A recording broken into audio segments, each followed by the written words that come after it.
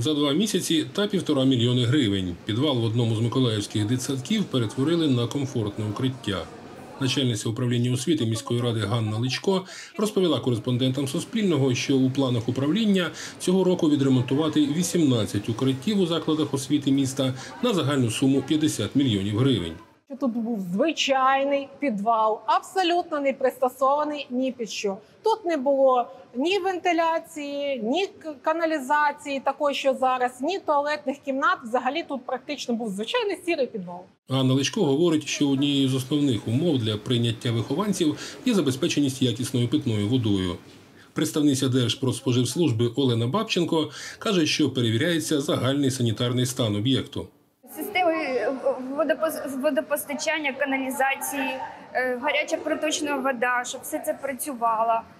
Ем, Забезпечення заклад забезпечений е, дезінфекційними засобами, ем, миючими засобами. Інженер господарської групи міського управління освіти Віталій Чернієнко говорить про технічні рішення, що вперше втілюються цього року в укриттях освітніх закладів. Зроблена хороша отделка, санвузол і система вентиляції. Е, Система вентиляції вона е, непроста, а вона підключена до системи ну, живлення. Це через інвертор і акумулятори. Вона може працювати без е, джерела десь 8 годин. Система очищення води тут зроблена е, осмос, зроблено осмос. Ну, поки він не підключений к нашій системі е, укриття.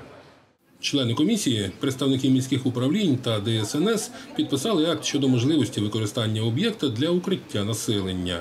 Керівниця дитсадка каже, що площа приміщення 306 квадратних метрів.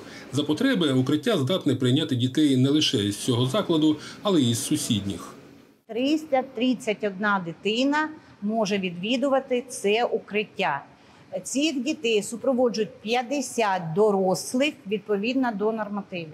Куточки психологічного розвантаження, це фізкультурний куточок, театралізований методичною службою дошкільного закладу було розроблено проект щодо облаштування саме приміщення для дітей стосовно використання його дітьми. Тому аналізуючи психологічні можливості дітей дошкільного віку, були обрані ті осередки, які будуть розвантажувати дітей і допомагати їм якнайшвидше пристосовуватися до перебування у цьому сховищі. Федір Бондар, Суспільне новини, Миколаїв.